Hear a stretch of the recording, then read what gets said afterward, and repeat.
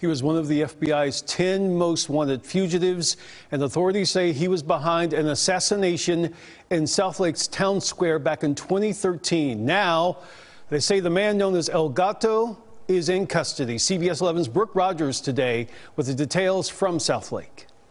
It's been nearly 10 years since 43 year old Juan Jesus Guerrero Chapa was murdered here in the middle of the day while shopping with his wife. And now the man who allegedly ordered the hit is behind bars in Mexico.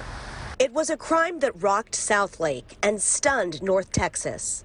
To have somebody gunned down in a shopping center uh, while he and his wife are, are shopping, you know, for uh, for items in an upscale shopping center was quite shocking. It's the victim, 43-year-old Juan Jesus Guerrero Chapa, was allegedly a lawyer with the infamous Beltran Leyva drug trafficking organization in Mexico, as well as a U.S. government informant.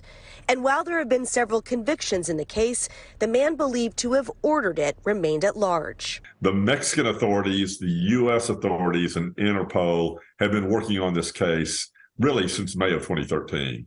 Uh, and, and, it's not over at this point. Jose Rodolfo Villarreal Hernandez, known as El Gato, faces charges of conspiracy to commit murder for hire and interstate stalking, according to a federal indictment.